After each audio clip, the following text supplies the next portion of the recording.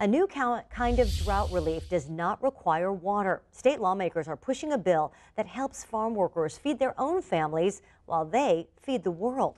Senate Bill 1066 would create a pilot program to send $1,000 a month to some farm laborers. Action News reporter Nick Garcia is live in Southwest Fresno with why some lawmakers believe the money is essential for these essential workers. Nick? Right, Margot. And State Senator Melissa Hurtado of the Central Valley is the one sponsoring that bill. She says the drought has gotten so bad over the past few years, it's not only hurting some crops, it's also drying up the pocketbooks of farm workers. Drought conditions in California continue to pose challenges for the Central Valley and beyond.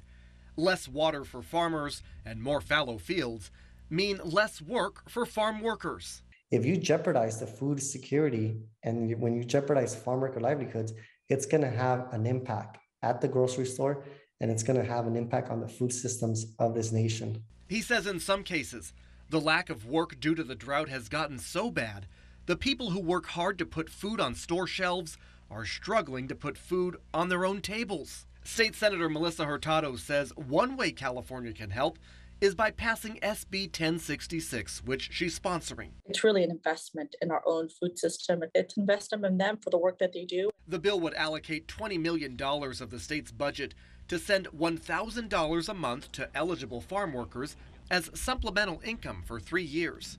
Senator Hurtado says the drought's impact on the economy is a driving force for this proposed pilot program. California has the country's largest agricultural industry. In fact, on average, it generates $50 billion a year and employs more than 400,000 people. Last year was the state's third driest on record. The drought so bad, UC Merced looked at the economic impact and found the ag industry lost about $1.1 billion and also lost about 8,700 jobs. What hurts the Central Valley also hurts other parts of the state. And that, that means that when farm workers are hurting, I mean, other people are going to feel the pain as well. If passed, the benefits would start in January of next year, bringing much needed relief to thousands of farm workers statewide. It wouldn't solve the drought issue, but experts say it might help some farm workers afford to live in the state with less work in the fields. This is not only about giving them um, a thousand dollars a month, right? It's about bringing awareness to an issue that continues to plague the Central Valley, and that's the drought.